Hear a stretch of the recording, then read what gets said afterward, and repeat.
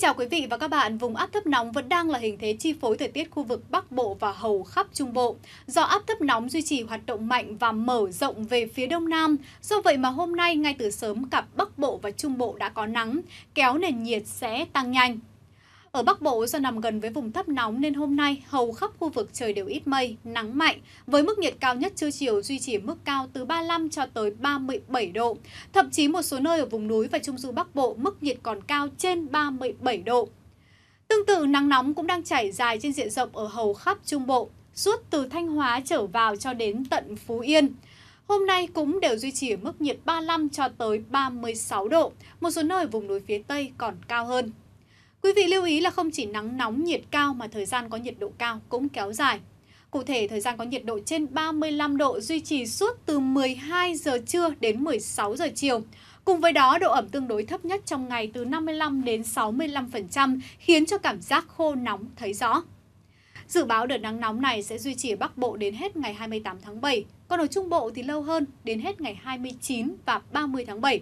Quý vị cần chú ý nắng nóng gay gắt có thể gây ra tình trạng mất nước, kiệt sức đột quỵ do sốc nhiệt đối với cơ thể người khi tiếp xúc lâu với nền nhiệt độ cao. Do đó, quý vị nên có kế hoạch làm việc phù hợp, tránh để ảnh hưởng tới sức khỏe. Còn ở phía Nam, nắng nhẹ vẫn duy trì vào ban ngày tại khu vực Tây Nguyên và Nam Bộ. Mức nhiệt cao nhất ngày phổ biến trong khoảng từ 28 đến 31 độ tại các tỉnh Tây Nguyên và khoảng 31 đến 33 độ tại khu vực miền Tây Nam Bộ. Khu vực Đông Nam Bộ mức nhiệt còn cao hơn.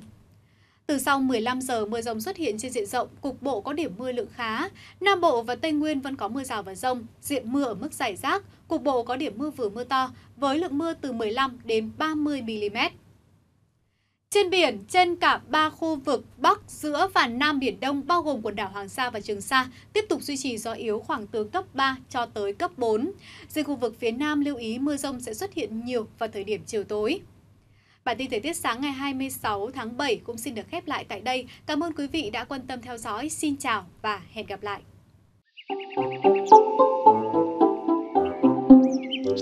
Thank